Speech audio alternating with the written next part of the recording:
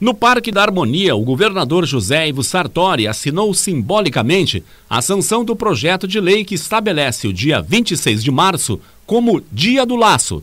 O projeto é de autoria do deputado Elton Weber e a data será incorporada ao calendário oficial de eventos do Estado, por ser também o aniversário de Porto Alegre.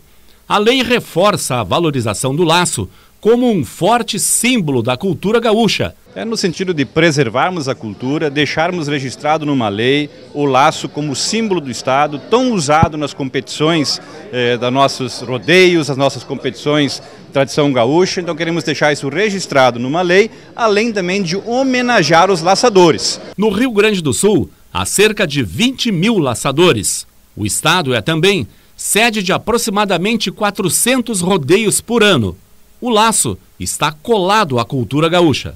O laço é também, não é apenas um instrumento de trabalho.